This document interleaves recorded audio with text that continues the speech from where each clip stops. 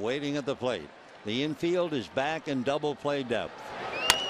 High chopper Uribe on the bag for one in the dirt. Good pick by Gonzalez for two.